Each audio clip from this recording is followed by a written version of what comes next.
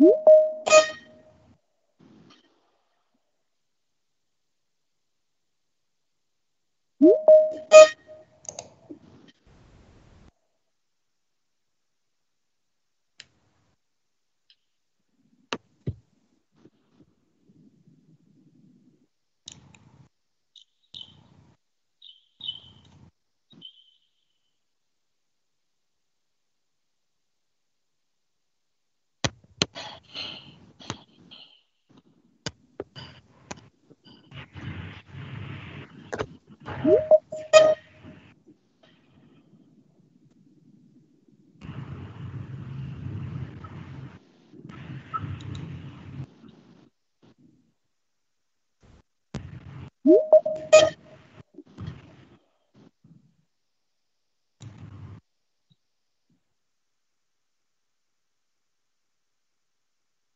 Woo!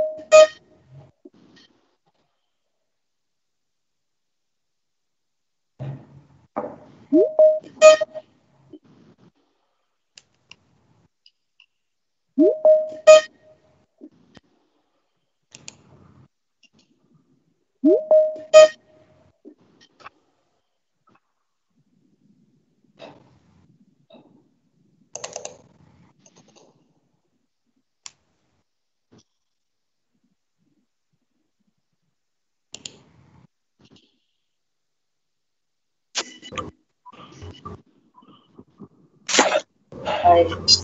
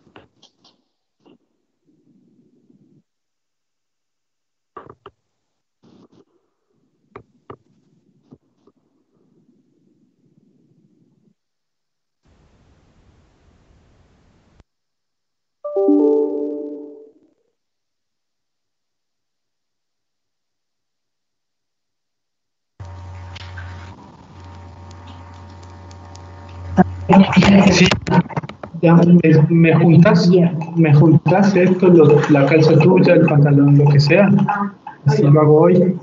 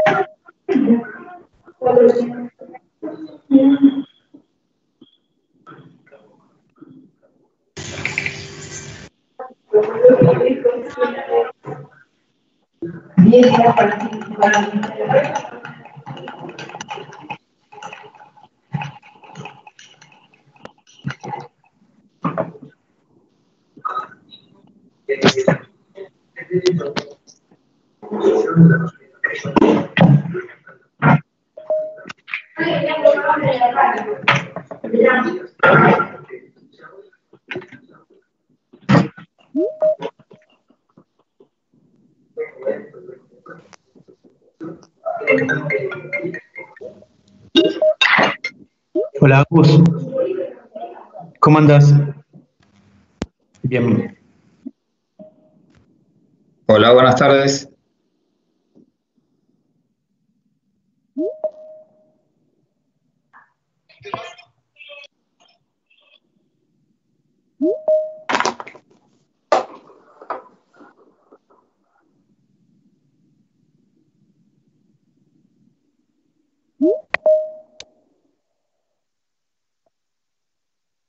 Buenas tardes, buenas tardes. Buenas tardes. Buenas tardes a todos. Buenas tardes, buenas tardes. Buenas tardes. Ah,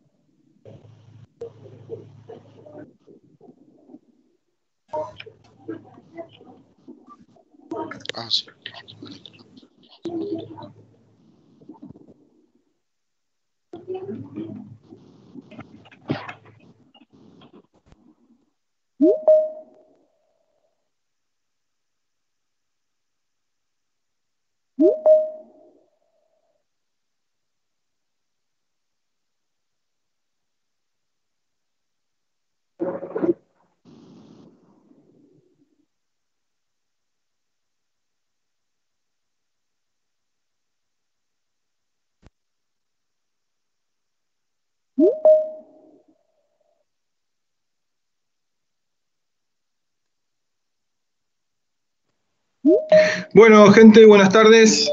Buenas tardes a todos. Eh, faltan dos o tres minutitos y ya vamos a empezar. Eh, Hola, buenas. Les voy adelantando, buenas tardes, buenas tardes. Les adelanto si por favor pueden poner los micrófonos en mute para que la presentación sea un poco más, más fluida. Y si pueden apagar la cámara, así no salta la presentación por las dudas que salte alguna de las cámaras. Eh, vamos a abrir las preguntas y respuestas a través del chat. Eh, igualmente, luego de la presentación vamos a dejar algunos minutos en donde vamos a poder abrir los micrófonos e interactuar un poco más. Pero para que todo sea un poquito más fluido, siempre les pedimos que eh, en medio de la presentación, si surge alguna duda, lo comuniquen vía el chat este, y enseguida vamos a hacer un stop y vamos a, a aclarar las dudas que surjan. ¿sí? Así que damos algunos minutitos más y ya arrancamos.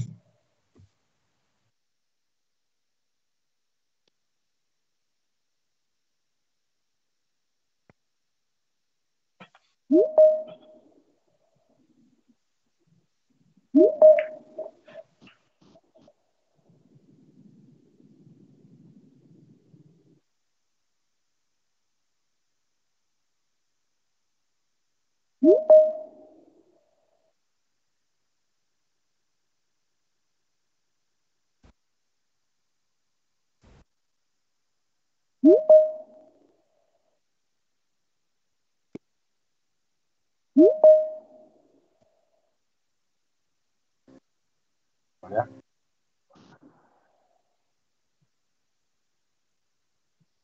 Woo!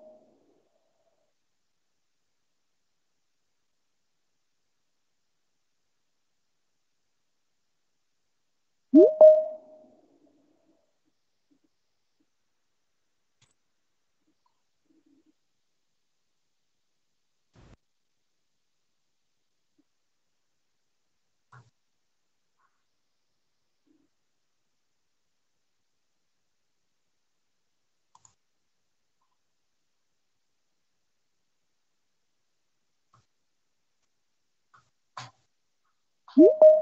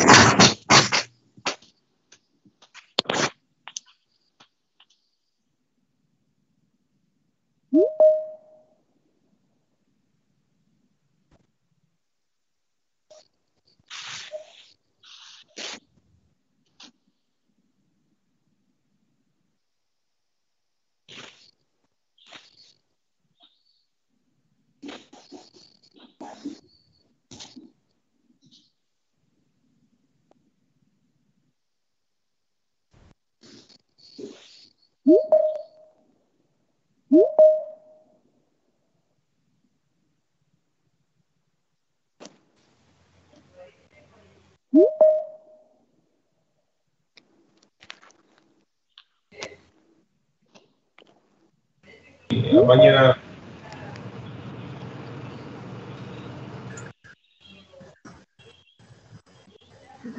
No voy a poner la cortina porque empieza ahí el juego. Concha de puta madre. No me respetas nada. No, me respetas de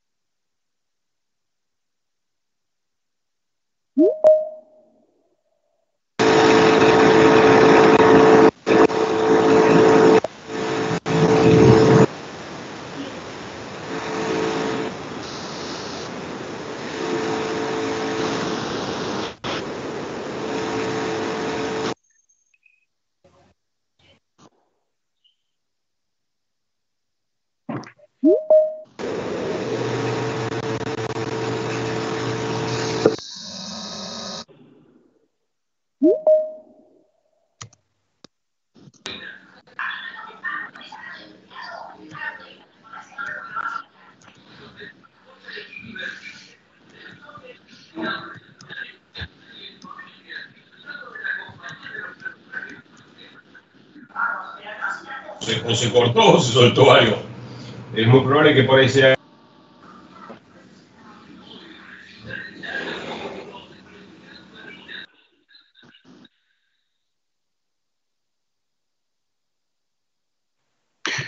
Bueno, gente, buenas tardes. Buenas tardes a todos. Vamos a arrancar con, con algún anuncio, por favor. Eh, les pido si pueden colocar los micrófonos en mute, así no, no interfiere ruido en la conversación. Eh, también les pido que apaguen la cámara, así pusimos para presentar sola, que solamente esté la presentación, pero a veces suele saltar cuando hay algún sonido la persona que tiene la cámara abierta, así, así no salta la presentación. Eh, ya estamos en hora, vamos a dar un minutito más, que veo que todavía hay gente conectándose y ya arrancamos, ¿sí? Muy bien.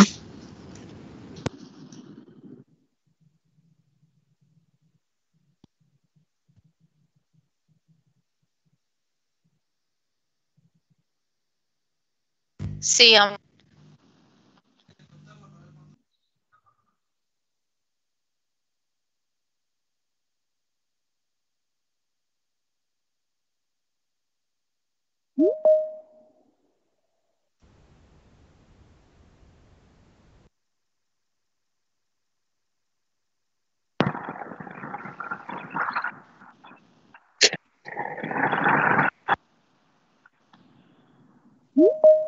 Bien, otro comentario, les pido por favor a aquellos que en su perfil tengan el número de, celular o algún número, eh, si pueden poner su nombre y apellido, porque luego vamos a hacer llegar un certificado de participación del curso.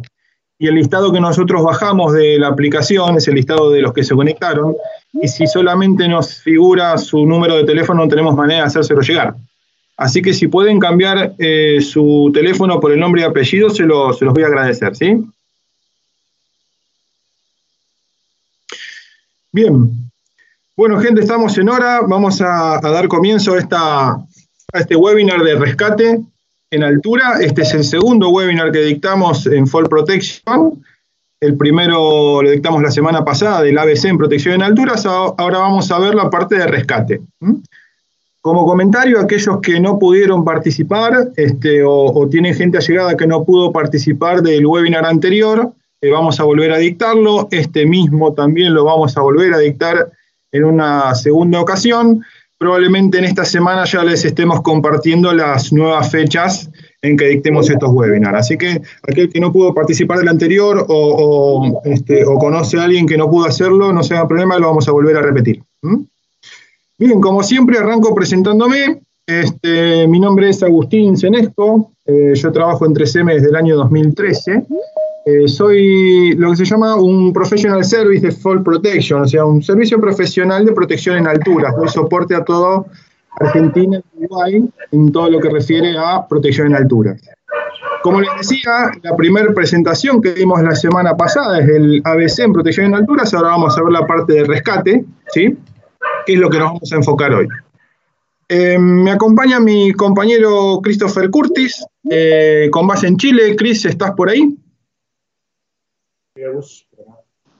Te pido, no sé por qué, la, la- la presentación que tenía con las fotos parece que no apareció. Así que te pido nos presentemos mutuamente y, y te dejo el lugar.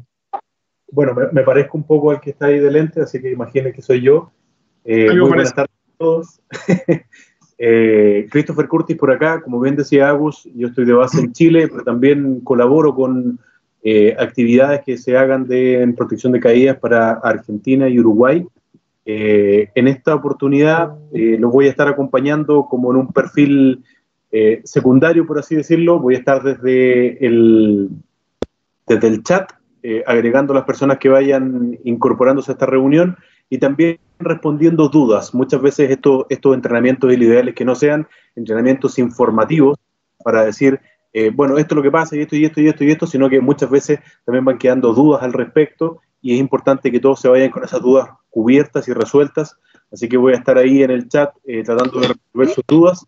Eh, mi experiencia profesional ha sido eh, 100% en el mundo de protección de caídas. Soy ingeniero industrial y también experto en prevención de riesgos o ingeniero en prevención de riesgos, que también se llama acá una carrera local.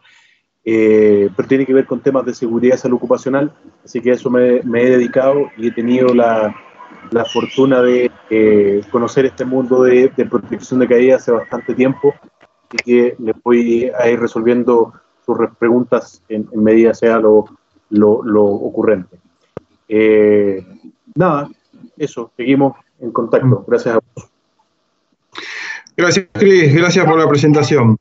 Bueno, gente, eh, como les decía, vamos a, a tomar eh, eh, el, nuevo, el nuevo webinar. La semana pasada dimos el ABC, para aquellos que no pudieron participar, el ABC básicamente hablamos de lo que es un anclaje en protección en alturas, luego lo que es el body support o el arnés de cuerpo completo, este, que utiliza la persona y ese es el conector, aquello que vincula el anclaje con el arnés que estamos usando.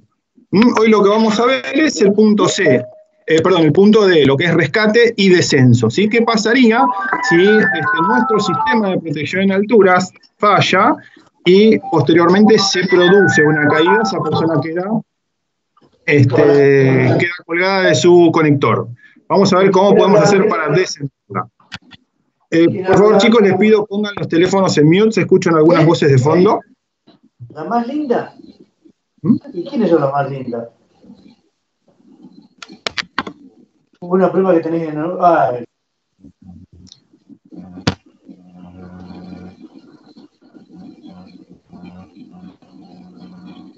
Bien.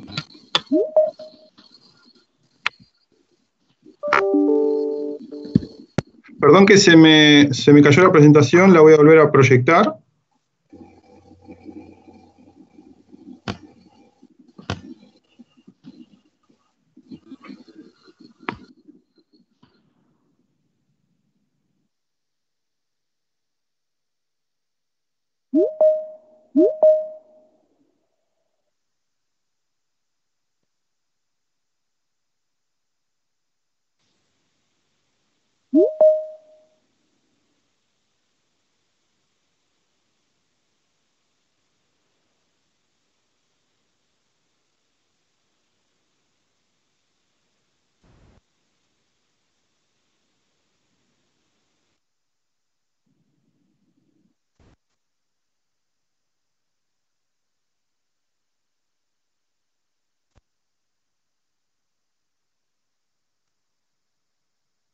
Bien, ahora se ve en la presentación. Ahora sí, perdón que sí, justo quise silenciar el micrófono y, y- y se me fue la presentación.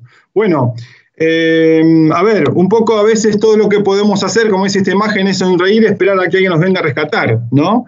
Lo que les dejo de tarea es ver que si alguien sabe cómo llegó ese perrito hasta esa posición.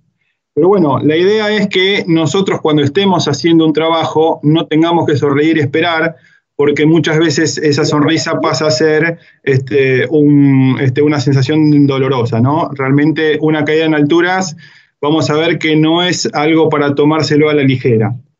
Muchas veces eh, tenemos en cuenta que necesitamos un ABC, cómo conectarnos correctamente, cómo vincularnos a nuestro punto de anclaje, cuáles son los, este, los elementos que tenemos que disponer para realizar un trabajo en alturas, pero bueno, lamentablemente no tenemos en cuenta el qué pasaría después. ¿Qué sucedería si una persona sufre un accidente, finalmente cae y queda suspendida? ¿Cómo hacemos ese rescate? Entonces, lo que vamos a ver en el webinar de hoy es justamente cómo acceder a esa persona, qué métodos podemos utilizar y qué elementos tenemos disponibles para realizar un rescate rápido y seguro.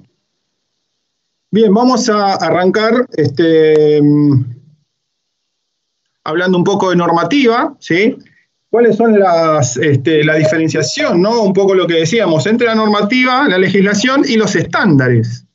Decimos que la legislación o la normativa es de cumplimiento obligatorio. Uno no puede eh, optar por cumplir o no la ley. La ley está escrita y está para que se cumpla en todos los ámbitos de trabajo.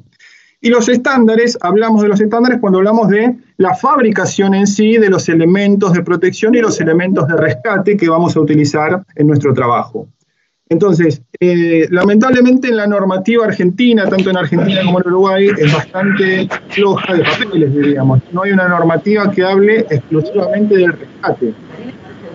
Por eso vamos a, vamos a hacer mención también a la normativa Goya, que es la normativa americana. ¿sí? Y cuando hablamos de estándares, vamos a ver cuáles son los estándares disponibles para la fabricación de algún producto, algún elemento de protección. Eh, en Argentina tenemos, eh, hacemos, eh, tenemos eh, la norma europea y también tenemos la norma IRAM, que son las normas de fabricación de elementos de protección. Pero vamos a ver también que en el rescate no hacen ninguna mención. O sea, en Argentina no tenemos una norma local que hable de este, los elementos mínimos que tiene que, tiene que disponer un elemento de rescate o de descenso. Entonces vamos a hacer mención a las normas europeas o las normas americanas. La eh, legislación americana tiene dos apartados, eh, es el Código de Regulación Federal 1910 para la industria general y 1926 para la industria de la construcción. Estas son las leyes que aplican en los Estados Unidos, ¿sí? Como dijimos, son de carácter obligatorio. Uno no puede optar por cumplir o no la ley. La ley es de carácter obligatorio y se debe cumplir en todos los ámbitos de trabajo.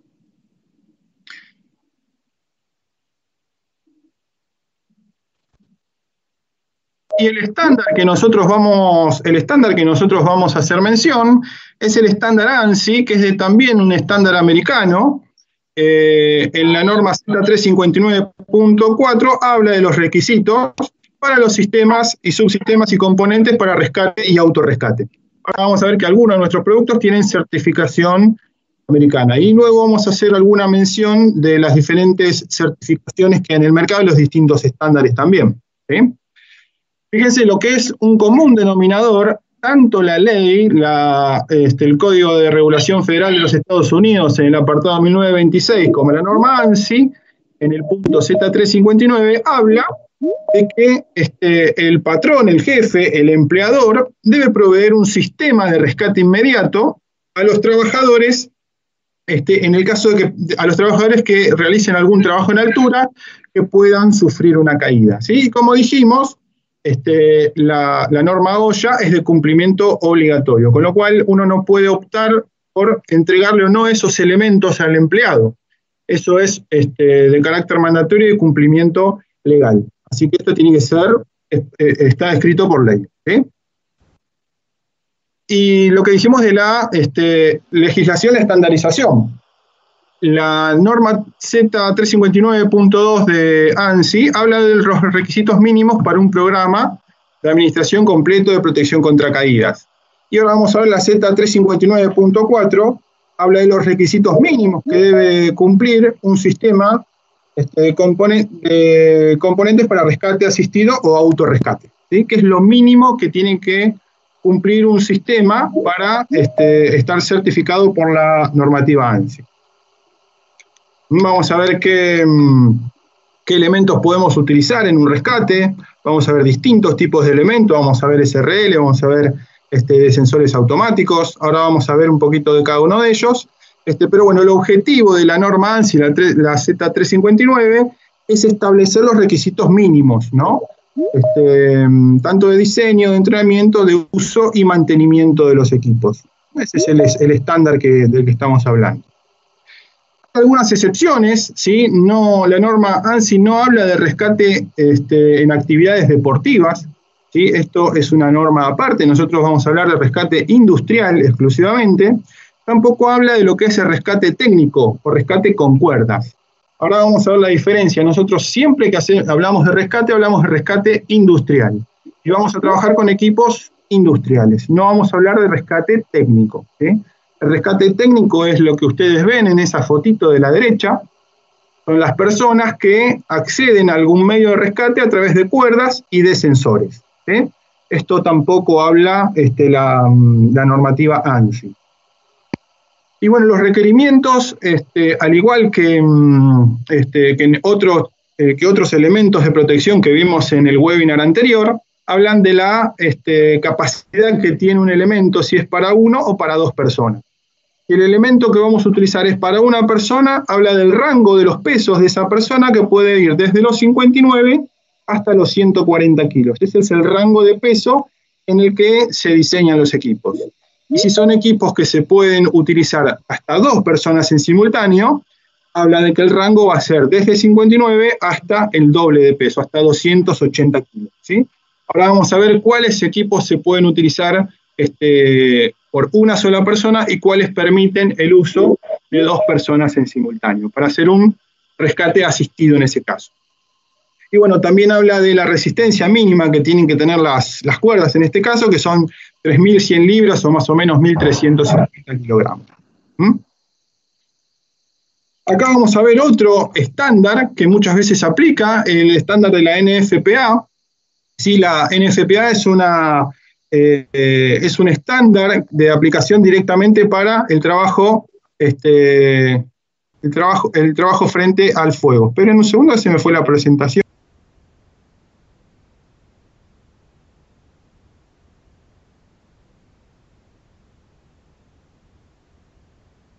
Ahí está, perdón, no sé por qué se me, está yendo la presentación. Les decía también que hay otros estándares ¿sí? que, se pueden, este, que un equipo puede cumplir, como los estándares en FPA. ¿sí? En el caso del estándar 1983, habla de el estándar en cuerdas, en cuerdas y equipos que trabajan con cuerdas. El estándar 1670 habla de operaciones y entrenamientos en la búsqueda del rescate. Y en el apartado 1006 eh, habla de la calificación para los rescatistas que van a hacer eh, el, rescate, el rescate en este caso. Eh, acá hacemos mención de lo que es la NFPA, es la Asociación Nacional de la Lucha contra el Fuego. Por eso generalmente cuando un equipo cumple con la normativa de NFPA, obviamente que está preparado para trabajar en condiciones donde pueda haber fuego abierto. Y ahora vamos a entrar puntualmente en lo que es el trabajo de rescate en sí. Y acá esta diapositiva dice que el tiempo es más valioso que el dinero. Uno puede obtener más dinero, pero no más tiempo. Y hablamos de cuáles son esos tiempos en el rescate, qué tiempos disponemos para realizar un rescate este, de manera segura. La legislación americana habla de que el rescate no debería demorarse más de 15 minutos entre que la persona cae y se la rescata, no debería pasar más de ese tiempo.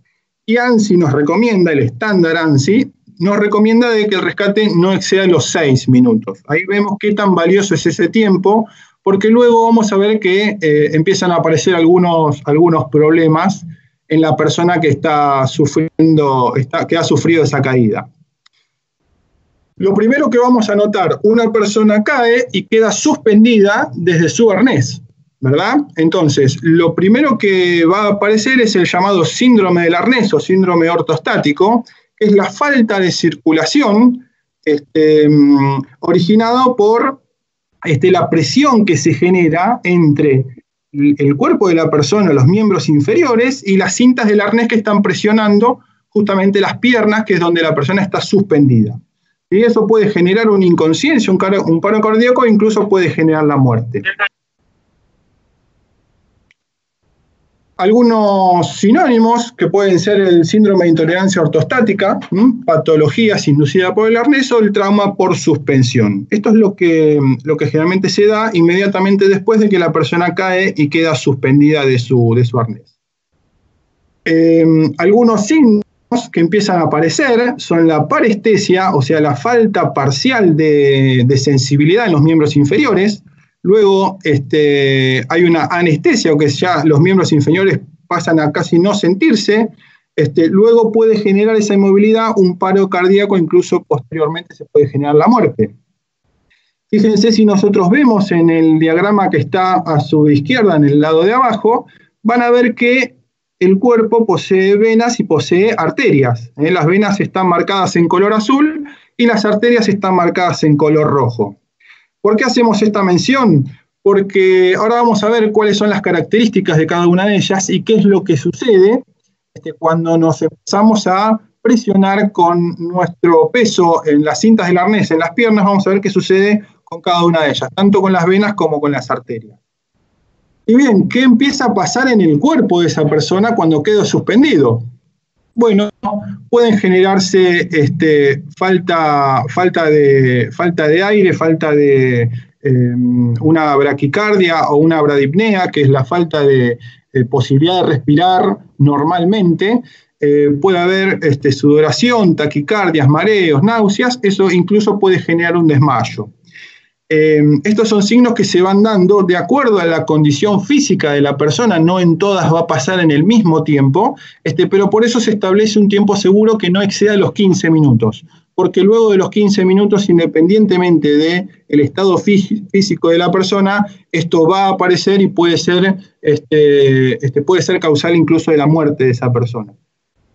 Fíjense, acá se nota cómo, voy a poner mi puntero, y van a ver cómo el arnés está haciendo presión en los miembros inferiores, porque todo el peso de esta persona está sostenido en los miembros inferiores este, de, la persona que está, que está colgando.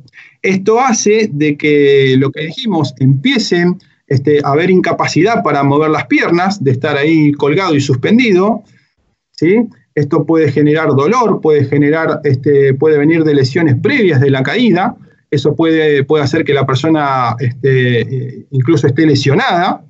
Puede haber alguna patología previa, lo que haga que esos síntomas aparezcan más rápidamente o que incluso las consecuencias sean aún más severas. Eh, puede haber enfermedades respiratorias previas, lo que haga también que ese tiempo sea incluso más escaso. Y bueno, también puede haber pérdida de sangre en el caso de que haya esa persona sufrido una herida en la caída misma este, desde distinto nivel. Y acá está un poco la explicación de qué es lo que sucede, por eso les, les hacía mención de que el cuerpo tiene venas y tiene arterias, porque lo que primero empieza a presionarse es, eh, son las venas. Las venas son las que llevan la sangre desde el corazón, eh, perdón, las venas llevan la sangre eh, del resto del cuerpo, las envía al corazón y por las arterias el corazón vuelve a mandar la sangre hacia todo el cuerpo. El problema es que las, este, las venas son un poco más suaves eh, que las arterias, las arterias son un poco más rígidas, entonces lo que primero se, empieza a presionar son las venas. Entonces lo que sucede es que la sangre sigue bajando a través de las arterias a los miembros inferiores, pero no puede retornar. Entonces, al no poder retornar, se empieza a acumular la sangre en los miembros inferiores. Por eso es que no llega este, nuevamente sangre al corazón, el corazón no puede, este, los pulmones no pueden oxigenar la sangre, ahí empiezan los problemas respiratorios, este, y lo que se puede generar también son coágulos por la no circulación de la sangre, que luego esos coágulos pueden ir al cerebro y generar un accidente cardiovascular. Esa es una pequeña explicación, hacemos lo, lo, más simple posible, pero para que se entiendan cuáles son este, los problemas que empiezan a aparecer inmediatamente después de que la persona sufre una caída. Ya les digo, dependiendo del estado físico de la persona y dependiendo de su salud, es el tiempo que vamos a disponer para realizar ese rescate antes de que estos síntomas este, sean evidentes en la persona. ¿Qué es lo que podemos hacer mientras esperamos que alguien venga a rescatarnos? O sea, ¿cómo podemos actuar nosotros mismos, que somos, imaginemos que somos la persona que se ha caído y ha quedado suspendida desde su arnés y desde su conector? Lo que primero podemos hacer, eh, hacer uso es de estas cintas, lo que se llaman cintas antitrauma. Estas cintas, este, nosotros en nuestra línea de Beisala, de los arneses de Beisala, ya vienen directamente de fábrica o en nuestra línea Protecta se pueden adquirir como un accesorio. Estas cintas se utilizan para hacer una especie de pie. Entonces uno une ambas cintas que vienen a los costados del arnés, a la altura de la cadera, hace una especie de pie, una especie de escalón, y luego se posiciona en ese escalón y lo que hace es liberar un poco esa presión que está generando las cintas del arnés en las piernas. Entonces, de esta manera lo que hacemos es permitir que el flujo sanguíneo vuelva a retornar y no se sigan acumulando este, la sangre en los miembros inferiores. Esta es una cinta que prácticamente no pesa nada, pesa algunos gramos, se puede incluir a cualquier arnés, no hace falta que sea de una marca particular, pero les repito, nuestra línea de arneses de Beisana ya viene con las cintas antitraumas incorporadas. Entonces, si la persona que cae está consciente, lo primero que puede hacer es uso de las cintas antitrauma. ¿Bien?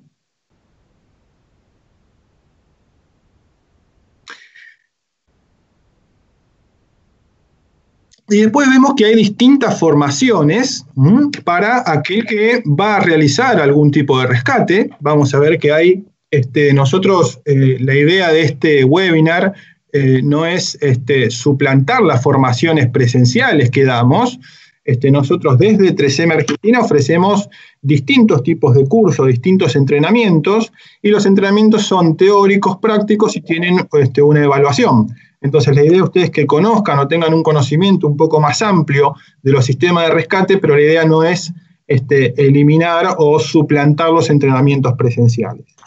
Em, desde 3M ofrecemos el curso de persona autorizada, que es eh, para toda aquella persona que va a realizar el trabajo en alturas, el curso de persona competente, eh, que algunos lo deben conocer, que es el curso este, que le ofrecemos tanto a los higienistas o a las personas que tienen que identificar el riesgo al que va a estar expuesta la persona que va a trabajar en altura y ver cómo mitigar ese riesgo. Y también hay distintos entrenamientos de rescatistas. Nosotros ofrecemos un curso de rescate, pero bajo el estándar ANSI también hay un curso de rescatista autorizado y rescatista competente. El rescatista autorizado es el que va a finalmente realizar el rescate y el rescatista competente es el que va a evaluar los, los trabajos que va a realizar la persona y ver cuál es el plan de rescate asociado a ese plan de trabajo en el caso de que la persona este, finalmente caiga. Entonces, recuerden, este, esto es un pequeño entrenamiento, pero la idea es que si van a, eh, todo aquel que vaya a realizar un trabajo en alturas, tiene que tener un entrenamiento presencial y comparte práctica también, ¿no? Porque, como decimos, la práctica hace al, instructor. O sea que fíjense que para ser un rescatista competente este, se necesitan 120 horas de entrenamiento, o sea que este, eso hace a que, a que la persona sea realmente una experta en, este, en, su labor, ¿no? la parte práctica que es fundamental también. Bien, y acá este, hacemos nuevamente la distinción a lo que es rescate industrial y a lo que es rescate técnico. Nosotros vamos a, ver sistemas de rescate industrial, este, no vamos a ver sistema de rescate con cuerdas, ¿sí? este, que aplica a otro tipo de tareas. Nosotros vamos a hablar de rescate industrial y vamos a ver qué equipos podemos utilizar para realizar un rescate industrial. Fíjense lo que les menciono, ¿no? Rescate técnico, que es el rescate con cuerdas, y rescate industrial, que es mediante equipos. Ahora vamos a ver qué, la diversidad de equipos que se disponen para realizar, este, para realizar el rescate. Vamos a ver un pequeño video que dura unos cuatro minutos. Bueno, nuevamente saltó la presentación, perdón, denme un segundo.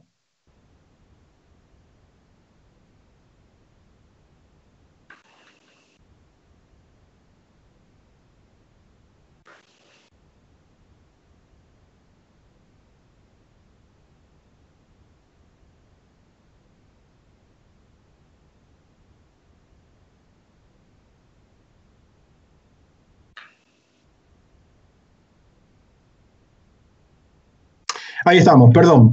Eh, les voy a mostrar un pequeño videito que dura un par de minutos y vamos a ver distintos sistemas de rescate y luego los vamos a mencionar y los vamos a explicar un poquito más en detalle. ¿Mm? Cris, hace mención si se escucha bien el sonido del video.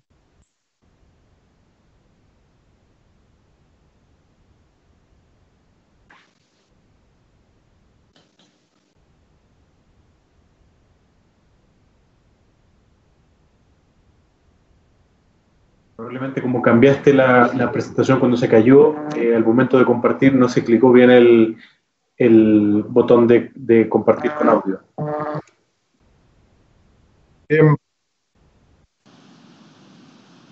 Vamos a ver ahora.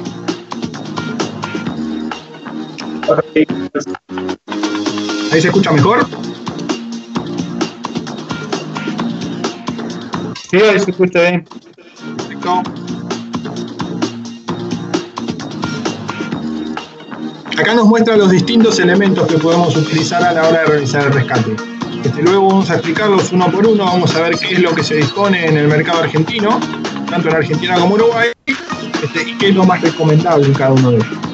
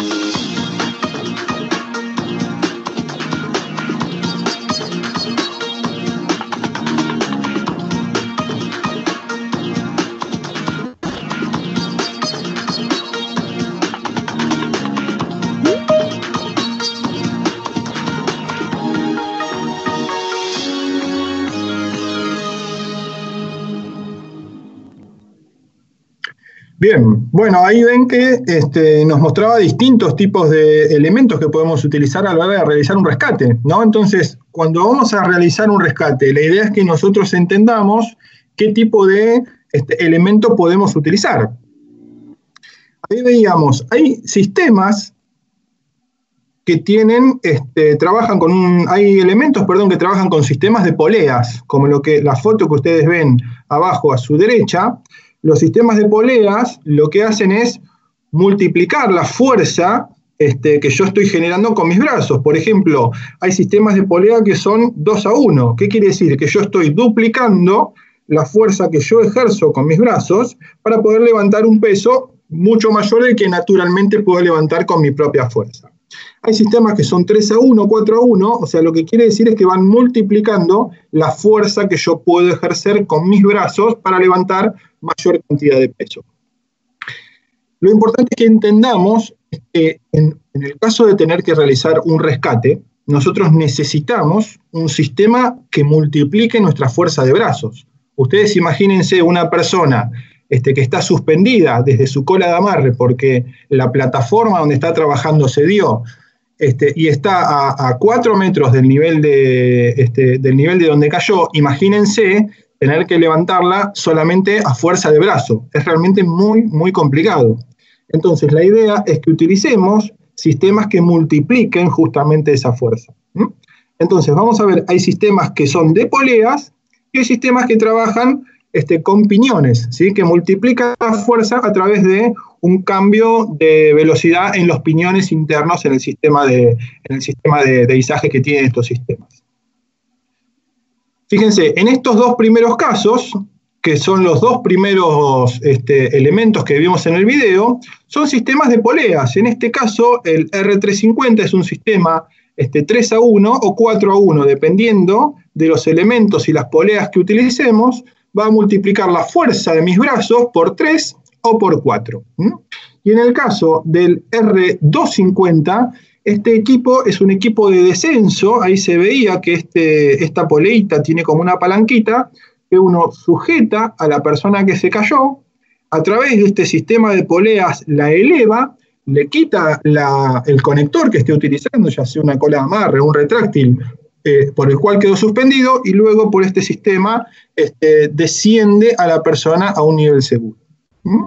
Estos sistemas utilizan poleas para, multiplicar la fuerza de trabajo.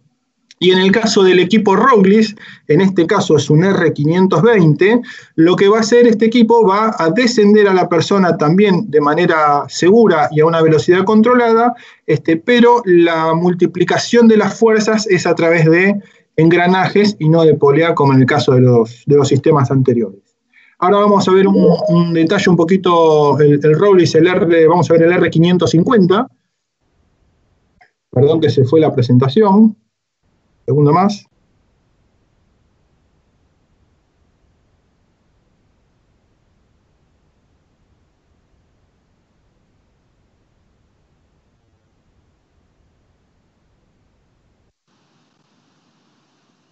Bien, ahí volvimos. Perdón que se nos está yendo y viniendo la presentación. Eh, lo que les decía, que el R, vamos a ver ahora el R550, que es un equipo que utiliza piñones para la multiplicación de fuerzas, y vamos a ver que tiene una relación mucho más ventajosa que este, en este caso, que es un 3 a 1 o un 4 a 1. Ahora lo vamos a ver un poquito más en detalle.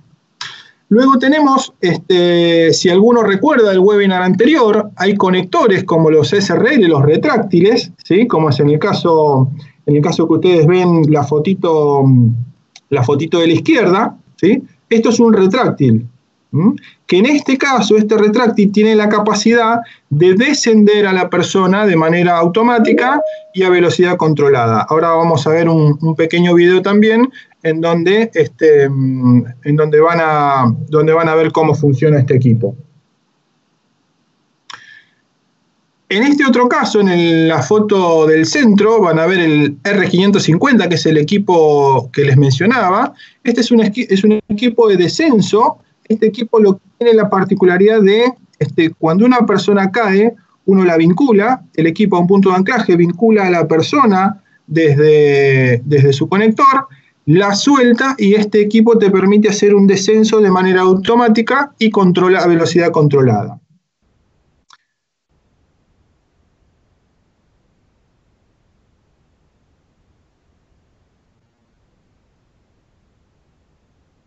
Perdón que estamos yendo y viniendo, este, no sé qué problema tengo hoy, hoy con, la, con la conexión que se me va cada minuto. Les decía, luego tenemos el R550, ahora vamos a ver un detalle de este equipo, y luego en la foto de la imagen de la derecha vamos a ver un equipo de descenso en torres, eh, que es un sistema también de descenso automático. Ahora vamos a ver un, también un pequeño videito que nos va a explicar cómo es el funcionamiento de este sistema.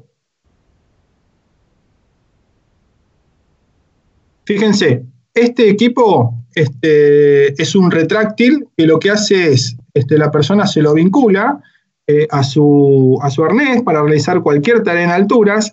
Cuando la persona cae, tiene la posibilidad que el equipo te detenga o que detenga y también te permita hacer un descenso automático. Fíjense, vamos a ver un video que dura dos minutitos, cómo es el funcionamiento de este equipo.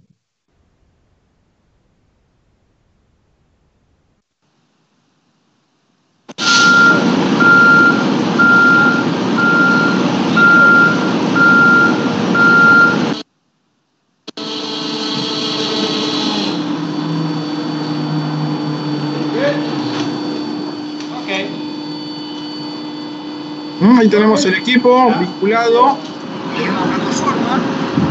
En la posición roja está únicamente para detener una caída. Retráctil convencional, si la persona cae, lo que va a hacer es detenerla. Vamos a hacer una simulación. Esta persona está haciendo un trabajo en alturas y vamos a simular que la persona cae. El retráctil te detiene, te deja colgado del lugar donde te caíste. Eh, en, el caso de que esté en modo manual, lo único que hace es la caída. En el caso de que esté en modo automático, no solo que tienes, desciende de manera automática hasta, este, eh, hasta la plataforma de trabajo. Entonces, de esta manera, acá tenemos un equipo que te permite no solo detener de manera segura una caída, sino que este, aparte te permite realizar un descenso automático y a velocidad controlada. Este es un equipo que este, cumple con los estándares ANSI para una sola persona, o sea, este equipo se puede vincular solo una persona y este, va desde el rango de los 59 hasta los 140 kilos. ¿Qué otro equipo podemos tener? Fíjense, este es el que vimos recién, es el retráctil que te desciende a velocidad controlada.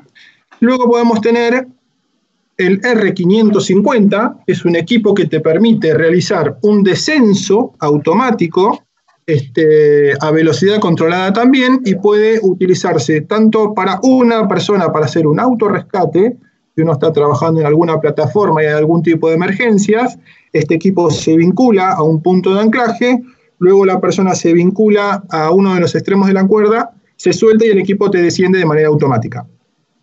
Podemos hacer un autorrescate o incluso podemos hacer un rescate asistido, de cuerpo a cuerpo, que le llamamos. Cuando la persona que sufrió la caída, no, no podemos llegar hacia esa persona, no podemos alcanzarla y tiene que ir una tercera persona a rescatarla. El equipo también se puede utilizar dos personas en simultáneo con lo cual el rango también de trabajo va de los 59, pero en este caso hasta los 280 kilos, ¿eh? hasta dos personas de 140 kilos. Y ahora vamos a ver también que se puede hacer este, un rescate en diagonal, o sea, el equipo también puede hacer un descenso, lo que se llama en tirolesa. Ahora lo vamos a ver un poquito mejor. Luego hay equipos que son para descenso en torres, como el low speed y el high speed. Acá están los distintos largos del equipo que les mencionaba, del R550, perdón, este, que van desde los 15 metros hasta los 180 metros. ¿Sí? Este es un equipo que está eh, homologado en las torres, en la mayoría de las torres eh, de energía eólica en los molinos eólicos, en el caso de que haya que realizar un rescate desde, desde la punta del molino, desde la nacel, este, se puede utilizar este equipo que está homologado por la mayoría de los fabricantes de torres y de aerogeneradores. ¿sí? Por eso vienen longitudes de hasta 180 metros, porque imagínense que eh, este, los molinos eólicos tienen una longitud realmente muy, muy alta. ¿sí? Incluso pueden medir 100, 120, hasta 150 metros. Y después tenemos estos equipos que les decía que son para descenso, este, estos se utilizan en torres de petróleo, en donde tenemos ya el equipo vinculado. Este, ahora vamos a ver también un, un, pequeño videito, que este equipo te permite también hacer un descenso automático, pero este equipo te permite hacer un descenso en tirolesa, ahí ya tenés que tener una cuerda guía instalada, ahora la vamos a ver, vinculás el equipo de esa cuerda guía y descendés de manera automática en diagonal desde la plataforma de trabajo hacia, hacia el nivel inferior, hasta el piso. ¿Mm? Bien. Arrancamos, vamos a ver, este es el equipo, el Rowlis, el High Speed. Este es un video, es un poco extenso, yo lo voy a adelantar un poco porque lo que quiero es que vean este, cuál es el funcionamiento de este equipo. Ahora lo vamos a ver.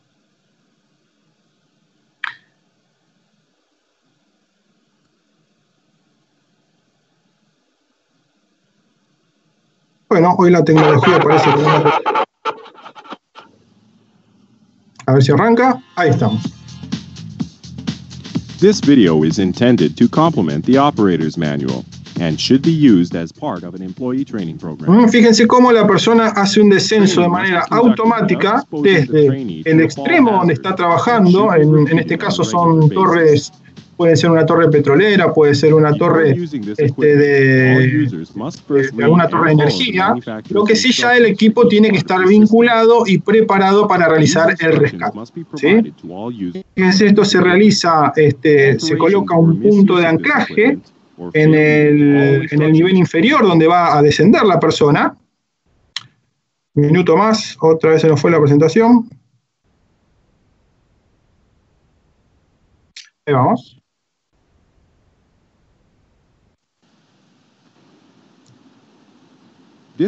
Lo que les decía, el equipo se encuentra en la parte superior de la torre donde hay que hacer el descenso. Esto lleva un cable guía hacia el nivel inferior. este, y, y, el cable guía va vinculado a un punto de anclaje que se encuentra este, en el nivel inferior donde vamos a descender. Acá está la instalación del equipo. Hay que hacer una revisión previa antes de cada uso. Esto lo hace este, la persona que va a utilizar el equipo. Se recomienda que haga una inspección y antes de utilizarlo. Luego la persona se vincula y automáticamente baja hasta el punto, hasta el punto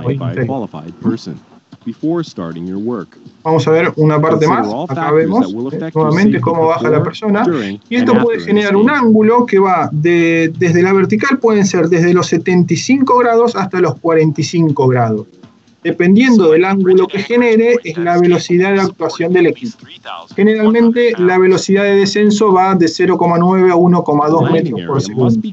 Y dependiendo del ángulo, hay una tabla que te indica, de acuerdo al ángulo que lleva el cable guía, la velocidad de descenso de la persona y cuáles son las fuerzas que se generan en ese cable, este, con lo cual ahí tenemos que ver el punto de anclaje, cuánto debería resistir.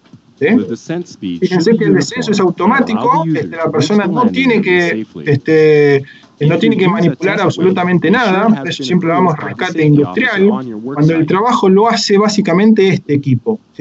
Lo único que la persona tiene que hacer es recoger el cable, una vez que una persona baja, un segundo tiene que recoger el cable, vincularse a través de la manivela que se ve este, en la imagen inferior, destraba el equipo y el equipo te desciende de manera este, automática de velocidad controlada. ¿Mm? Bien, eso es un poco el funcionamiento de este, de este equipo que se utiliza más que nada en torres, en torres de perforación, más que nada en la industria del petróleo. Lo que puede pasar también es que yo estoy trabajando en un espacio confinado y necesite también realizar algún tipo de rescate. La idea no es que entremos muy en detalle en lo que es confinados porque este, estamos preparando también con, con Christopher un nuevo entrenamiento que lo vamos a dedicar exclusivamente a lo que es confinado. Pero la idea también es que entendamos un poco que no solamente vamos a necesitar realizar un rescate en una tarea en altura si una persona cae, sino que también vamos a necesitar realizar un rescate a la hora de que una persona esté trabajando en un confinado este, y sufra algún inconveniente donde los tengamos que, tengamos que rescatar. Fíjense, este, hay sistemas que se llaman sistemas David, que son estos, estos brazos pescantes de color verde, este verde característico que le da a los sistemas David. Este, hay distintos sistemas que algunos vienen con base, ya viene la base, la base que se llama de cinco piezas, ya viene armada, o hay otros que vienen con una base fija que se monta eh, en, en, la entrada del espacio confinado y lo que hacemos es colocar el sistema pescante a la entrada de la base. Y tenemos sistemas de winche que sirven para subir o bajar a la persona que va a ingresar ese espacio y tenemos sistemas de este, retráctiles de tres vías, como el que se ve acá en esta imagen, que lo que te permite es hacer una detención segura de la persona, o sea que la persona, si sufre alguna caída ingresando al espacio, te detenga de manera segura, y luego a través de esta manivela que se ve acá o la que se ve acá en el, en el retráctil rojo, se puede hacer o un ascenso de la persona para rescatarla o un descenso para bajarla hasta un lugar seguro. ¿sí? Por eso se llaman estos equipos de tres vías. Te detiene y aparte te permite hacer este, lo que es el ascenso o el descenso a través de esta manivela este, de, la persona que está haciendo la tarea. ¿sí? Hay distintos, distintos tipos de cabrestantes. Generalmente los cabrestantes se utilizan para este, cuando no hay un ingreso a través de una escalera o a través de alguna plataforma al espacio confinado y la persona tiene que entrar este, suspendida. ¿no? En ese caso se utilizan los cabrestantes ¿sí? para que la persona baje este, suspendida desde su arnés, pero estos equipos no te permiten detener una caída. Con lo cual, si necesitamos un equipo para detener una caída, tenemos que ir al retráctil de tres vías. ¿sí? Bien, acá vamos a ver otro tipo de anclajes que son los trípodes. ¿sí? En el caso anterior vimos el sistema David. Este, el sistema de brazo David, eh, como les decía, eh, puede ser de, una, de una pieza, eh, de una base fija o una base de cinco piezas. Lo que te permite es trabajar en espacios donde el trípode, por su, por su método de trabajo, no te permite ingresar. Y nosotros tenemos espacios que están centrados dentro del trípode, ahí lo podemos utilizar, pero si tenemos espacios que están en una esquina donde el trípode por la superficie de trabajo es muy irregular, no se puede utilizar, ahí vamos a optar por un, por un sistema de ¿eh? Bueno, los trípodes también se pueden vincular tanto un SRL de tres vías, o sea, un sistema que te permita detener a la persona en el caso que caiga y hacer una extracción segura, se puede vincular también un winche para eh, cuando la persona no tenga un acceso a través de una escalera o a través de alguna plataforma, lo descendemos y lo, y lo ascendemos manualmente con el winch. ¿sí? Estos winches tienen una ventaja mecánica de 4 a 1 eh, y el, eh, de 4 a 1 y de 9 a 1. Tienen eh, dos dados que te permite cambiar la velocidad a la que vos vas a levantar a esa persona, o sea, a mayor velocidad tenés una, una menor, eh, eh, una menor relación, pero haces también una menor fuerza, ¿sí? Y a menor velocidad tenés una mayor relación y haces menos fuerza, menos fuerza aún. Entonces, la relación es de 4 a 1, o sea, vas a hacer la cuarta parte de la fuerza que pesa esa persona, o de 9 a 1. En el caso que levantes una persona de 90 kilos, simplemente lo que tenés que hacer son 10 kilos de fuerza con tu, con tu winch. ¿Mm? Y después tenemos un sistema de posicionamiento y rescate que es el RPD. Este sistema es un sistema de poleas, también de, puede ser de 3 a 1 o de 4 a 1, dependiendo eh, eh, el tipo de equipo. Y este equipo te permite hacer un descenso o un ascenso de toda la longitud del equipo. Estos equipos vienen hasta 50 metros. Entonces vos si tenés este, que hacer un ascenso de esa persona, este, y no tenés algún, algún tipo de, de, de, trípode o David, directamente lo puedes anclar a la estructura donde estés trabajando, entonces puedes descender y puedes ascender a la persona en toda la longitud del equipo. Eh, les reitero, este equipo viene con relación 3 a 1 y 4 a 1 eh, y es de bloqueo automático. ¿Qué quiere decir eso? Si yo estoy levantando a una persona y accidentalmente la cuerda se, me patina de las manos, la persona no va a caer, sino que el equipo automáticamente me va a bloquear y la persona va a quedar suspendida. ¿eh? Y luego puedo volver a, puedo volver a, a izarla. Otro equipo que se utiliza también ampliamente en el rescate. Después hay un equipo que es por excelencia el equipo que nosotros recomendamos para hacer este, un rescate en altura, que es el R550. Algo ya les adelanté, pero bueno, la idea es que damos un pequeño videito de cómo es el funcionamiento de este equipo. El R550 eh, es el equipo que les comentaba, se utiliza eh, tanto en torres, en torres eólicas, en torres de energía, este, vienen de distintos largos y en este caso tenemos una ventaja mecánica de 40 a 1, o sea, porque esta relación eh, no, no, está dada por poleas, sino por piñones. Entonces, si yo tengo que levantar a una persona este, que pesa 100 kilos, la fuerza que voy a tener que hacer con el volante es solamente 2 kilos y medio. Es la ventaja mecánica realmente muy, muy alta. Este, el problema es que, bueno, ahora vamos a ver que vamos a, eh, girar, vamos a tener que girar el volante. Este, eh, vamos a tener que dar muchas vueltas al volante, como quien diría, para levantar a la persona. Por eso se puede vincular, ahora lo vamos a ver en el video, un taladro inalámbrico para cuando ese acceso este, lo tengamos que hacer de manera más rápida, lo podamos hacer a través de un taladro. Vamos viendo el videito, lo vamos a poner bajito y vamos a ir explicando algunas ventajas. When every second counts, you can count on the Rollgliss R550 Rescue and Descent solution.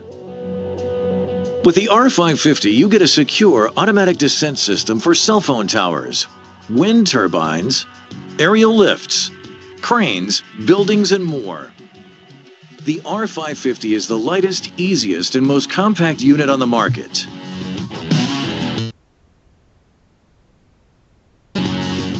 The R550 features cast aluminum housing, making it lightweight and extremely durable, a bidirectional hub, to allow the rope to descend from either side, enabling the system to be used again immediately after each descent. Multiple length options using 3 8 inch or 9.5 millimeter static Kermental rope, which is NFPA L rated for durability. Steel snap hooks with 3 quarter inch or 19 millimeter gate opening. Optional rescue wheel, Ergonomic design made of super tough nylon.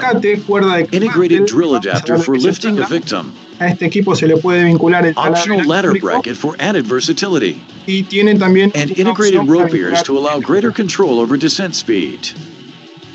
The R550 uses a dual-purpose brake to provide added security and peace of mind.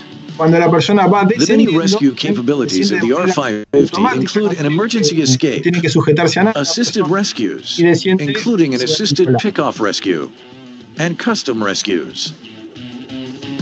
For an emergency escape, securely attach the R550 to an anchor point and the steel snap hook to your dorsal or front D-ring.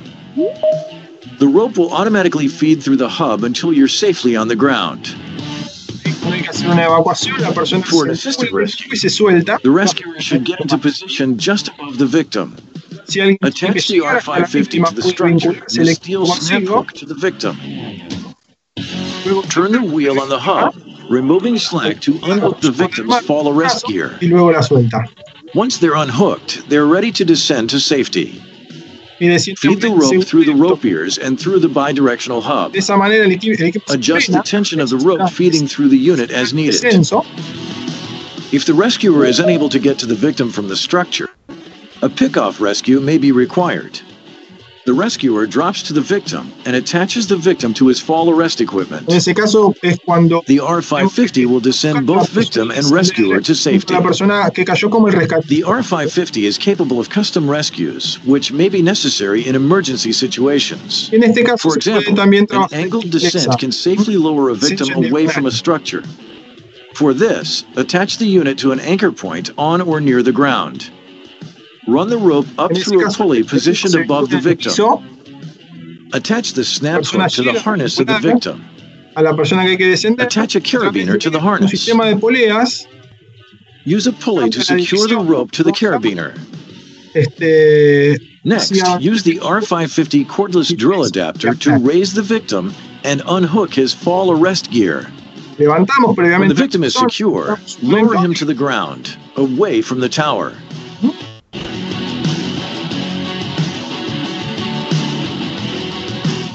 The R550 offers the choice of controlled descent rescue, evacuation, or the versatility of the assisted rescue with lifting capabilities. This state of the art, fully automated controlled descent and rescue device sets new standards for performance and safety in the Contact Capital Safety for more information.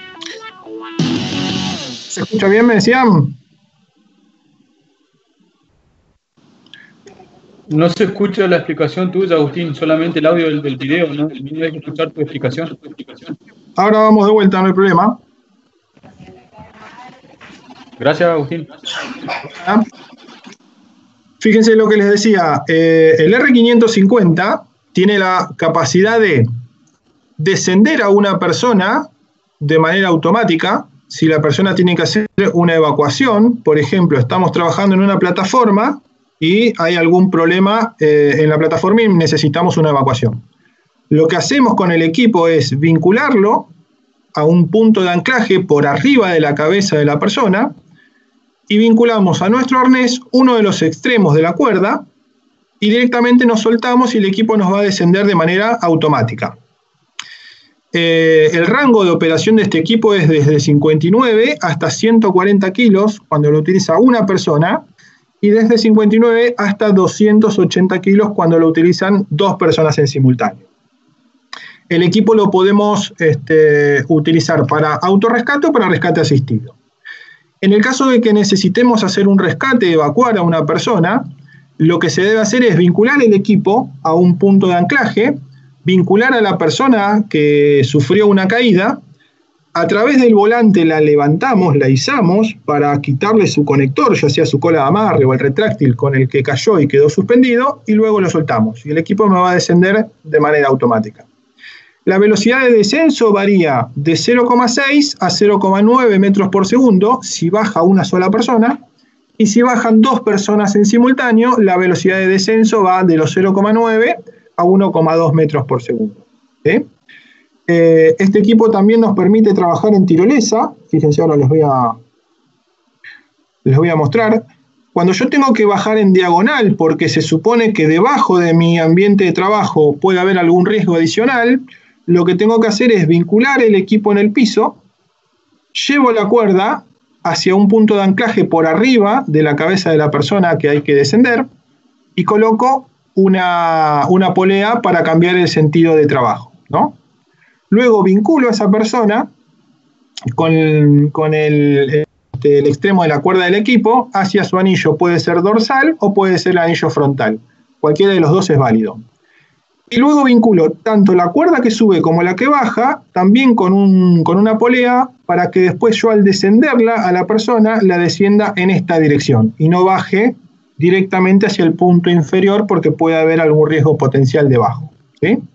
Entonces, el equipo lo que nos permite es hacer una cantidad de maniobras.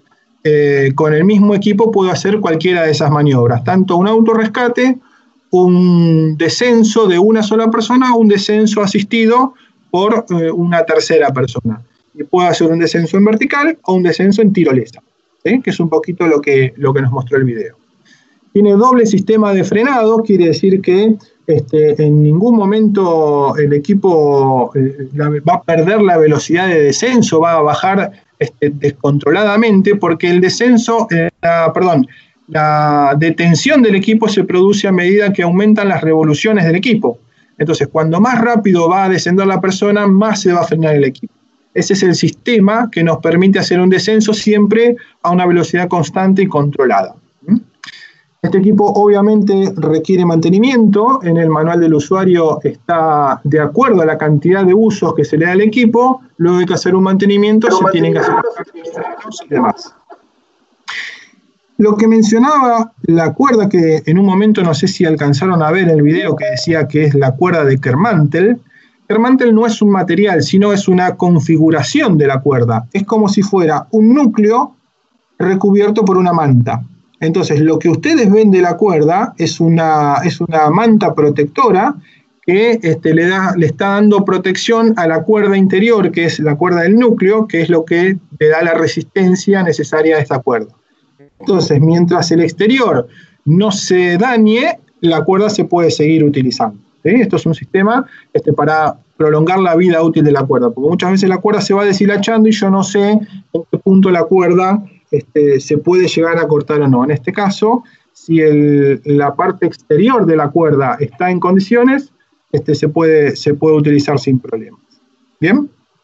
Bien, y después tenemos un equipo que se llama Self Rescue. Esto no lo tenemos aún este, disponible en Argentina, pero lo vamos a tener, esperemos, en breve. Em, que es un equipo también para autorrescate, pero este equipo ya viene este, directamente para vincular en tu arnés este, directamente antes de hacer la tarea. Ahora también vamos a ver cómo funciona.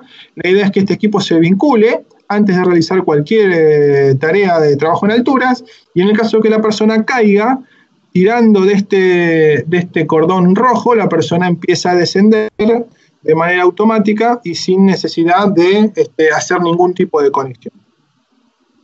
Vamos a verlo, a ver que, este, a ver si, por favor, corríjame si se escucha bien.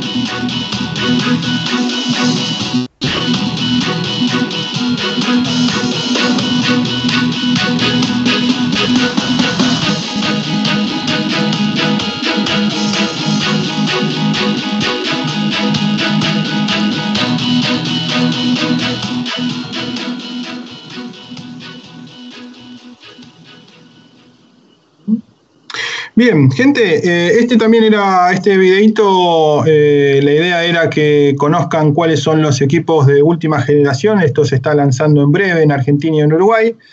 Eh, este equipo, como se veía en el video, la idea es que la persona no tenga que hacer ningún tipo de, de conexión a la hora de tener que hacer un autorrescate, simplemente suelte la cuerda y el equipo lo descienda automáticamente a velocidad controlada. Estos equipos vienen tanto de 15 como de 30 metros. Este, viene sellado el equipo, o sea que puede resistir este, la salpicadura de líquidos y demás sin ningún problema.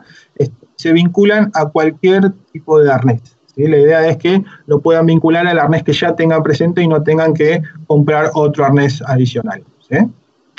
Bien, bueno, gente, más o menos estamos en tiempo. La idea era tener unos 60 minutos de presentación y luego tener unos 15 o 20 minutos más para aclarar algunas dudas, algunas consultas o este, si quieren abrir los micrófonos y si hay algún tema más que haya que mencionar, este, sin problemas, eh, tenemos unos minutos disponibles. Cris, ¿tenemos alguna pregunta en el chat que haya que, que, haya que responder?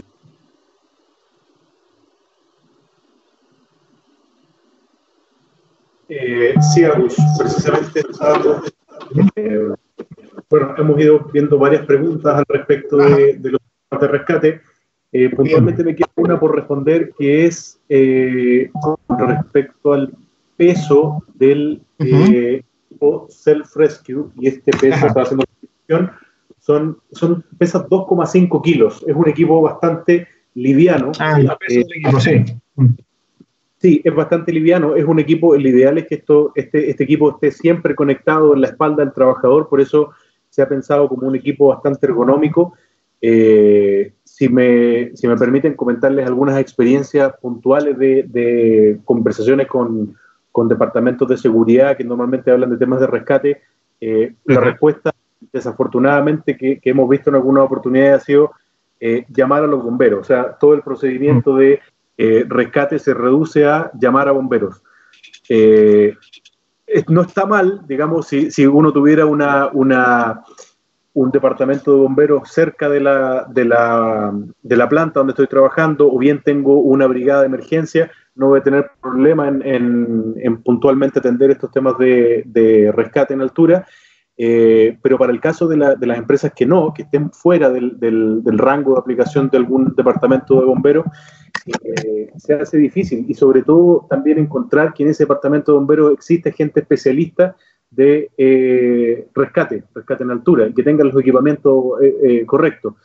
Por lo tanto, este equipo va, pensado precisamente a eso, por eso se llama self-rescue, o sea, es usted no haga nada, ni siquiera contacte a un, a un rescatista, tiene una manilla roja que al igual cuando uno sube al avión, no sé, tú dices jale la manilla roja, simplemente en el caso de estar suspendido y veo a ver que, me caí directamente en, altura, activo esta manilla y el equipo a, comienza un descenso automático de eh, un metro por segundo, es bastante rápido el descenso para 30 y 60 metros, como decía eh, Agustín. No sé si quedan alguna otra pregunta, eh, si, si tienen ganas de, de, de, de, resolver cosas que no quedaron muy, muy claras, pueden levantar la mano. Sí, Cris, hay algunas preguntas pendientes aún. Una de ellas tiene que ver con eh, el factor 0, 1 o 2, desde el cual se puede utilizar un retráctil. Esa nos quedó sin responder. Bien, ahí, bueno, eh, ese fue un, uno de los puntos que, que, tocamos en el webinar pasado, así que eh, los invito cuando volvamos a, a, dar el webinar de AEC, este, si quieren participar, eh, es un punto que tocamos. los retráctiles, a ver, dependiendo del tipo de retráctil, es el tipo de factor al que te puedes conectar. En general, los retráctiles se recomiendan trabajarlos sobre cabeza, o sea, por arriba de la cabeza de la persona, cosa que siempre estás vinculado en un factor cero, o sea, la caída es la menor posible, y que no se genere un ángulo mayor a 30 grados entre la vertical y este, el desplazamiento que pueda realizar la persona en el, en, en, en el ambiente de trabajo. Hay equipos retráctiles este, que te permiten trabajar en factor 2, o sea, vinculado desde el piso, que son equipos que por su naturaleza están preparados para no solamente trabajar en factor 2, ancarte desde el piso, sino para eh, trabajar frente a un borde filoso. Porque cuando estás trabajando en el piso, si caes, el borde este, puede llegar a cortar la cinta del retráctil. Entonces, es un poco dependiendo del tipo de, retráctil que vayas a utilizar.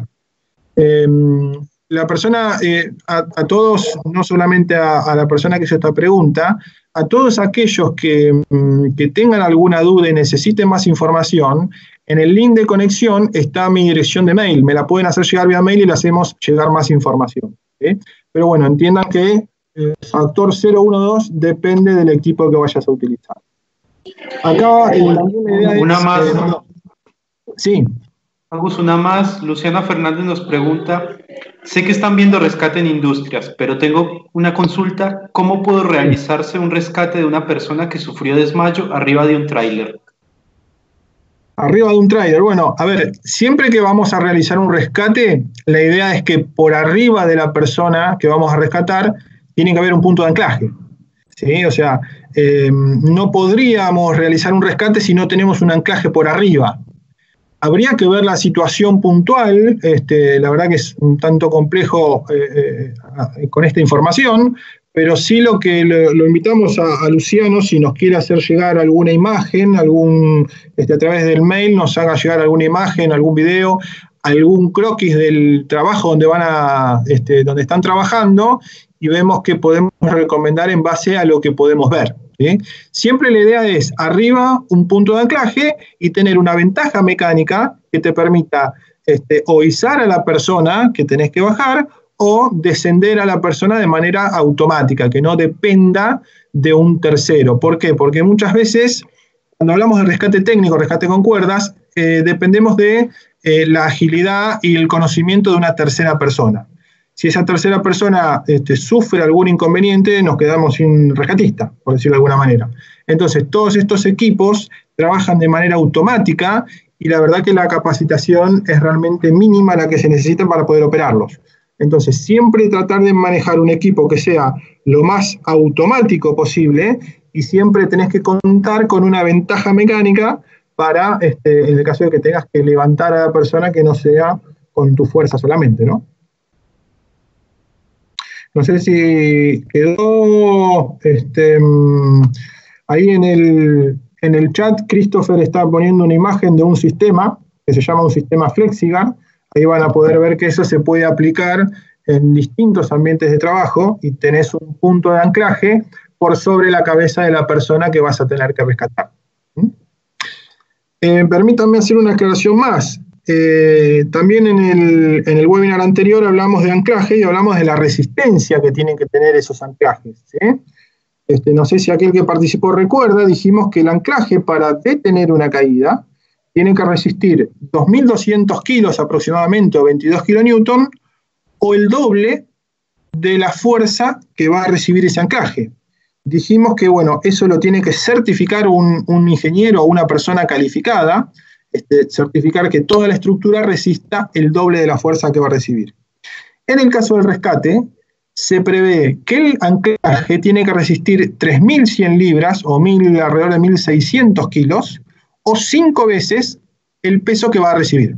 O sea, si va a descender una persona que pesa 100 kilos, el anclaje como mínimo tiene que resistir 500. Y si, y si la, van a descender dos personas en simultáneo, o sea, imaginemos que son 200 kilos, el anclaje como mínimo tiene que resistir 1000 kilos. Eh, eso es como información adicional, ya que muchas veces preguntan, ¿cómo sé si mi anclaje resiste o no? Bueno, para que tengan una idea, esos 2.200 kilos tiene que este, el anclaje tiene que poder soportar a una camioneta más o menos que, tiene ese peso, y en el caso del rescate, este, cinco veces más de la fuerza del peso que va a recibir el anclaje. Eso como, como corolario. Bien, gente, ¿alguna pregunta más, alguna duda más? Todavía nos quedan unos 10 minutos, así que estamos abiertos. Sí, Agustín. Sí. Agustín, nos piden si podemos contar alguna experiencia sobre silos. Rescate en silos. Rescate en silos. Mira, tenemos alguna experiencia de rescate en silos. Em, la idea es que eh, muchas veces en los silos, aunque parezca una obviedad, pero hay que ser, eh, eh, es válido reiterarlo, se almacenan semillas, se almacenan granos. Muchas veces el problema es que se tiene en los silos, es que se utiliza un sistema retráctil como un sistema para detener una caída en el caso que la persona caiga dentro del silo. El problema es, el problema es que si la persona está sobre las semillas y empieza a, hundirse dentro de las semillas, el sistema retráctil no te va a detener porque eso trabaja por una diferencia de velocidad. El sistema retráctil, una vez que la persona pasa la velocidad de descenso en 1,2 o 1,4 metros por segundo, dependiendo del retráctil, el retráctil se va a detener. El problema surge cuando la persona está sobre semillas, está parado sobre granos y empieza a hundirse lentamente los granos, el retráctil no te detiene.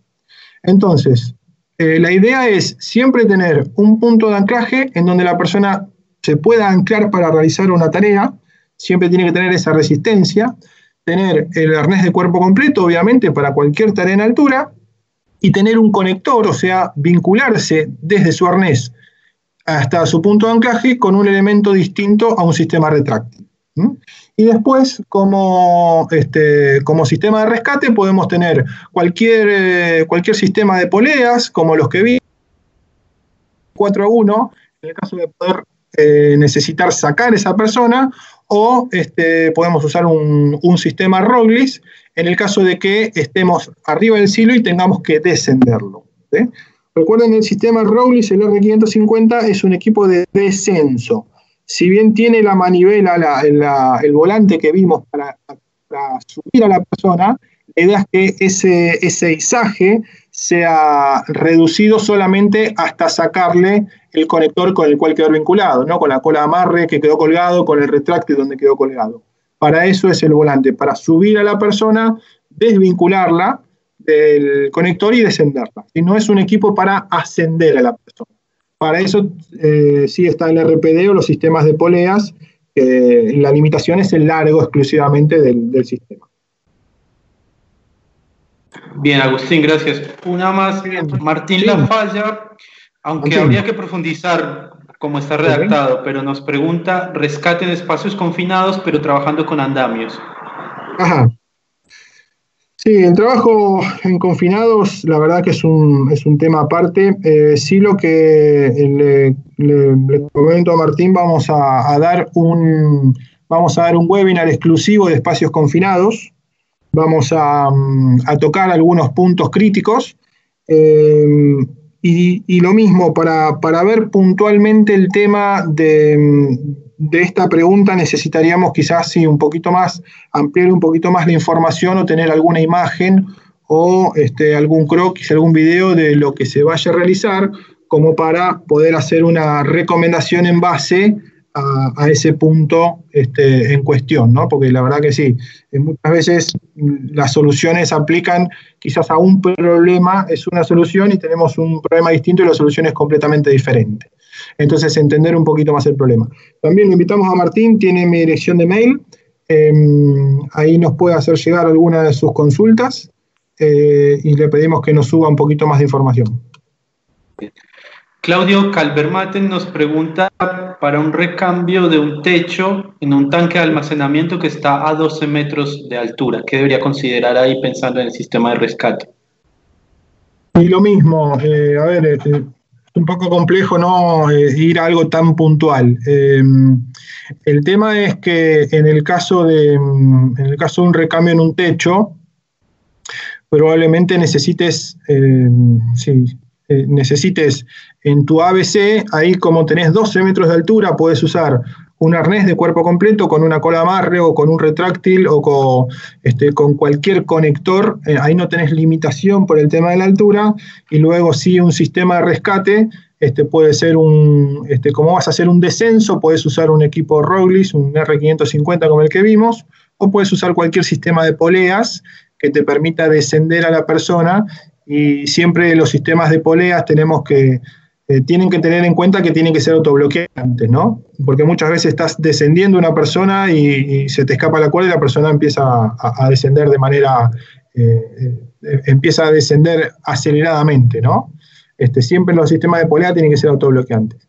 Pero lo mismo, las preguntas que son así puntuales a un punto de trabajo o a un, a un espacio de trabajo, si nos quieren hacer llegar una consulta vía mail, eh, con un poquito más de información, con alguna imagen y la respondemos, la respondemos por ese medio. Bien, hay varias preguntas que convergen en lo mismo y es disponibilidad tanto en Argentina como en Uruguay. Nos piden eh, mantenimiento, ya Christopher ha contestado algo, pero quizás vos podés eh, ampliar un poco sobre si hay servicio técnico en Argentina y en Uruguay. Y nos preguntan por certificación de los equipos, si se tienen que recertificar cada año o cómo es eh, el mantenimiento administrativo. Bien, buena pregunta. la verdad que ese es un punto que a veces este, surgen dudas o surgen inquietudes o incluso eh, muchas veces eh, eh, procesos productivos que se detienen porque el equipo no, cuenta con la certificación. En cuanto a, punto A, ¿los equipos están certificados? Sí, nosotros fabricamos todos nuestros equipos bajo normas americanas y normas europeas, dependiendo del equipo de cuál sea su procedencia, se certifican bajo normas ANSI o bajo normas de Comunidad Europea.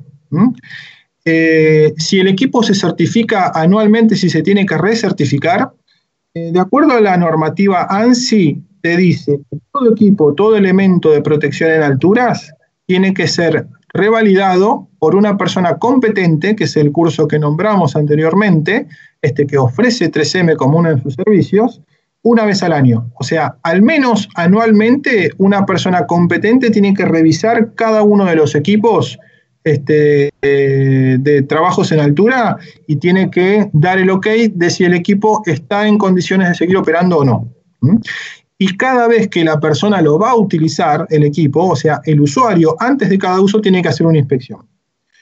eh, dentro de un, uno de los módulos que, que, tocamos en persona competente es el de inspector de equipos, o sea, qué es lo que se debe inspeccionar a la hora de verificar si un equipo está en condiciones de ser utilizado o no.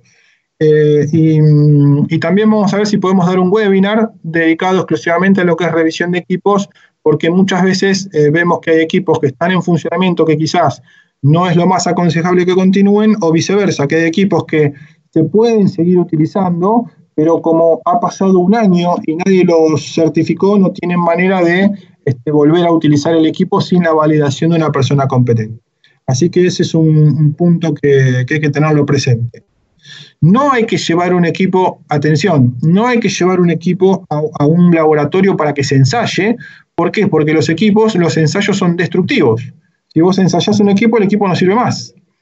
Los equipos se ensayan destructivamente y este, se ensayan por marca de conformidad, lo que se llama. O sea, se ensayan aleatoriamente un equipo este, dentro de un lote, si ese equipo está en condiciones de, este, pasa todas las pruebas, ese lote se puede comercializar.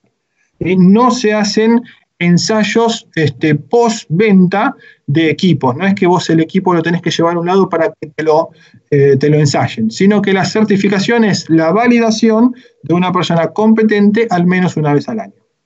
Si hay equipos que, que requieren un mantenimiento, en el caso, por ejemplo, de un, sistema eh, de descenso automático como un R550 o como un retráctil de tres vías o como un sistema de retráctil SRL convencional. Tenemos centros de reparaciones en Argentina, eh, no así en Uruguay, la verdad que no tenemos centros de reparación en Uruguay, pero estamos, eh, formando nuevos reparadores como para dar un mayor soporte tanto en toda la región en Argentina como en Uruguay también. Eh, así que la persona que tenga algún equipo que necesite hacerse un, este, una reparación o un mantenimiento, nos puede escribir y nosotros lo derivamos a, nuestro centro de reparación autorizado. Bien. Gracias, Agustín. Ya estamos llegando casi al final. ¿Podrías volver a poner la diapositiva donde están tus datos de contacto? Sí, señor. Ya se las comparto. Denme un segundo. Así se anota mi mail, mi teléfono y, me escriben.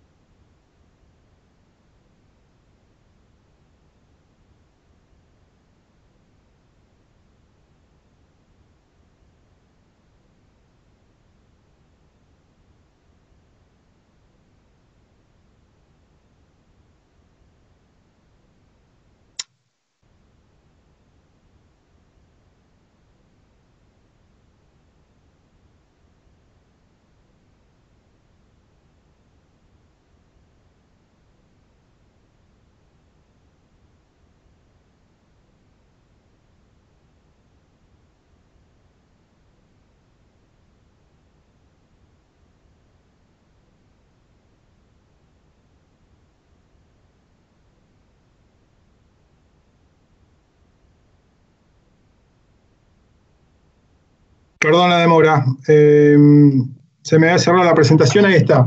Eh, acá está tanto mi teléfono como mi dirección de mail. Los invito a que cualquier duda, cualquier consulta, algo que no fue respondido o algo que requieran más información, nos hagan llegar un correo tanto a Christopher como a mí, cualquiera de los dos. Están nuestros teléfonos. Este, y bueno, yo estoy en Argentina y en Uruguay. Christopher está con base en Chile, pero cualquiera de los dos podemos hacer este, podemos asesorarle en cuanto a sus preguntas, no hay ningún problema.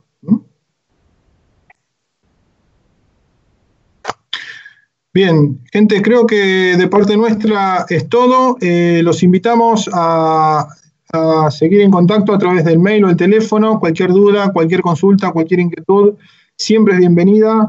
Vamos a volver a dictar el webinar del ABC en protección en alturas como el de rescate. Si saben de alguien que no pudo participar, no hay ningún problema, lo vamos, este, lo vamos a volver a repetir los webinars. Les vamos a hacer llegar un certificado. Les pedimos disculpas a aquellos que participaron del ABC y todavía no lo tienen, pero lo tenemos que hacer manualmente porque el sistema no nos hace el certificado de manera automática. Entonces, a cada uno de ustedes le tenemos que hacer el certificado y enviárselo por mail y es un trabajo que se hace uno a uno, con lo cual lleva su tiempo por eso muchos todavía no lo han recibido. Pero se los vamos a hacer llegar. Este, y a, la misma, a las mismas direcciones les vamos a hacer llegar las nuevas fechas de, los webinars y, los nuevos webinars que vamos a dictar, tanto en confinados, vamos a ver este, otro tipo de sistemas de ingeniería, eh, todo lo que es eh, inspección de equipos, vamos a seguir con estas charlas porque la idea es mantenernos en contacto a pesar de, a pesar de la distancia que hoy nos separa, que no, no podemos estar en su, en su ambiente de trabajo, pero la idea es que no perdamos ese contacto. ¿Sí? Solo un aviso, eh, recalcar el tema del nombre y apellido en el perfil del Teams lo que pasa es que luego de esto eh, podemos hacer una bajada directamente del sistema para ver cuáles fueron las personas que se unieron, cuánto tiempo estuvieron, etcétera. Pero, por ejemplo, cuando me aparece un nombre que dice eh, Christopher, por ejemplo, o Agustín, eh, ojalá que haya un Agustín, pero si hay dos o tres o más, resulta no que sabemos se, quién fue. Claro, por tanto, reitero el, el, favor ahí de poner su nombre y apellido para que podamos hacer trazable el envío de los certificados y no tengamos problemas. Gente, de mi parte creo que es todo. Me vuelvo a disculpar, la verdad que hoy este, la tecnología no nos ayudó mucho, hubo algunos este, cortes en el medio, se perdía un poco la, eh, conexión. Este, pido disculpas, la tecnología a veces no aporta, pero bueno, espero que de parte nuestra haber eh, resuelto la mayor cantidad de sus dudas y los invitamos a seguir conectados este, tanto por mail como por teléfono este, y los mantenemos al tanto de nuevos webinars. Bien, gente, gracias una vez más y seguimos en contacto. Bueno, muchas gracias. Muchas gracias. Excelente. Muchas gracias, Agustín. Gracias, gracias, saludos. Buenas tardes, bueno, bárbaro todo. Gracias. Muchísimas gracias.